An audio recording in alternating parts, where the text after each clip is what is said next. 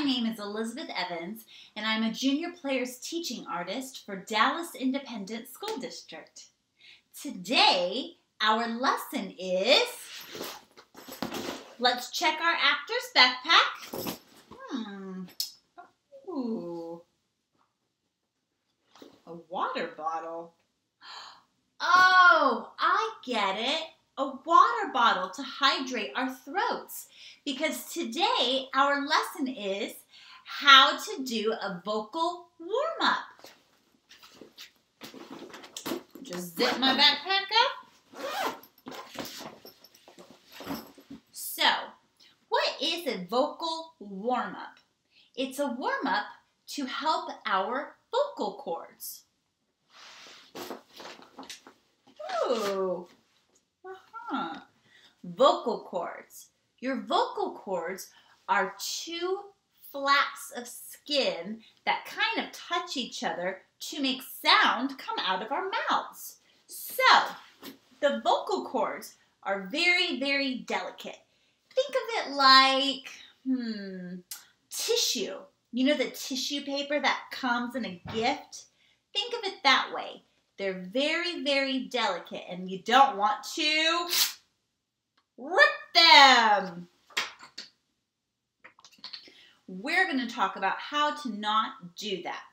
So the vocal cords are here. And in order to warm them up, we have to use a muscle here. The muscle that we use here is called your diaphragm. Say that with me. Diaphragm. Nope, not that one. Aha, I found it. The diaphragm helps push air up and out through your mouth. It takes some of the pressure off the vocal cords. So, you know how when you go to an amusement park, or maybe you're outside and you're running around with your friends and you're doing a lot of yelling, and then the next day you're like, wow, my throat hurts, right? It's not because that you're not feeling well or allergies. It's because the vocal cords had too much pressure on them. They were working too hard. So when we use our vocal cords, we want to use our diaphragm. I have a trick on how to do this. Okay. Take your two fingers, like peace fingers, right? Don't do that. Take your two peace fingers, put them right above your belly button. We all have a belly button, should be right around here. Everybody's is different though. But here's mine. Put it right above your belly button. Now, you're going to breathe in and out. However, we want to pretend that this muscle is like a balloon. And you know how when a balloon fills with air, it goes, and then when it collapses air, it goes, right? We're going to pretend that that muscle is the diaphragm. Now, there is something that all kids do that we're going to try to fix right now. Okay. Relax. Breathe in for me. That was good. Did you breathe in like this? Kids sometimes breathe in and they lift their shoulders. Are your shoulders, do they have your lungs in them? No. Kids lift their shoulders, but the air is not there. Your lungs are here, and the diaphragm pushes the air. So instead of lifting our shoulders, we want to think about pushing those bellies out to create air. Now, this is a really hard thing to do.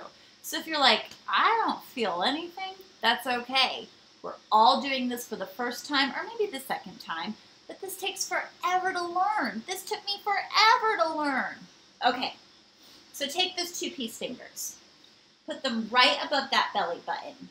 We're to breathe in and out together. These are slow breaths, but when you're breathing, I want you to imagine that balloon expanding, and then when I say out, deflating, expanding, deflating. Here we go. Breathe in through the nose. Out through the mouth. Ready? Breathe in. Breathe out. Like I said, it's okay if you don't feel this for the first time, but I want you to start practicing putting your peace fingers above your belly button, and when you breathe in, imagine your belly filling up with air and collapsing. How does that help our vocal cords? It pushes the air out so you're not yelling just from this part of your voice, but instead we can project our voices. Wait a second. Hmm, uh-huh, yep. Project. To project your voice, it means to make it louder, but to not scream. You're using your projected voice. So for instance, this is my talking regular voice but I'm on a video, so I don't know if you can hear me that much. But this is my stage voice. I'm not yelling, I'm simply projecting. I'm pushing the air so you can hear me. What is in this? What does any of this have to do with vocal warm-ups? I'll tell you. The warm-up helps our throat, our vocal cords know that we're going to start speaking with our diaphragm. So here's the beginning of your vocal warm-up. So first we have to relax, so get those wiggles out.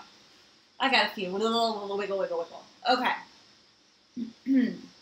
First and foremost, we did our breathing. We know where our diaphragm is. We know where our vocal cords are.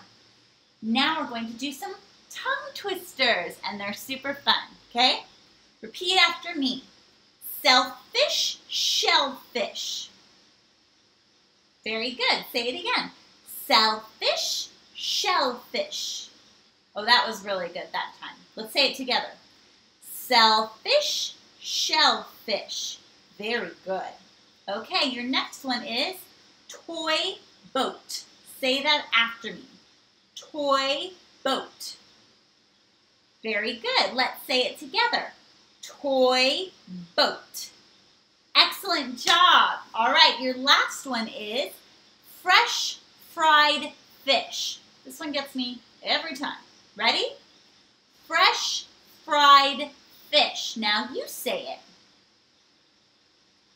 Very good. Let's say it together. Fresh fried fish. That's excellent. All right. That's going to help your mouth. We call that, this is a big word, enunciation. Say that with me. Ready? enunciation. That means our mouth is moving so much so we can understand each other. So we can say things like selfish, shellfish, toy, boat, fried fish.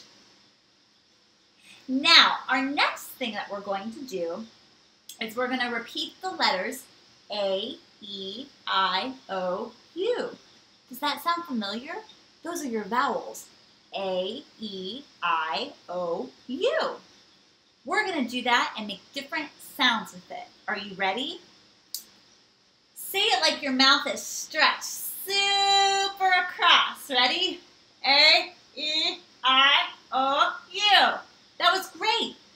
Now we're going to say it as if our mouth is going up and down. Ready? A, E, I, O, U. Now we're going to say it as if our mouth is full of marbles. A, E, I, O, U. Now we're going to say it like our mouth is made of steel.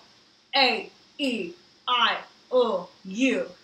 Now we're going to say it like our lips are pulled back. E, E, I, O, U. Very, very good. Can you say it like a robot? I'll do it with you. Ready? A, E, I, O, U.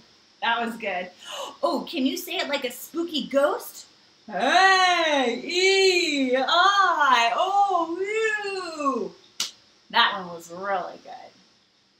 Before we end today, we're going to work with volume. Volume is when something gets louder and then softer. So for instance, we might say A, E, I, O, U. And then I might say, say it louder. A, E, I, O, U. A, E, I, O, U. That's great. All of these activities help your vocal cords know that you're going to do some acting. That is your vocal warm up for today. Thank you. Have a good one.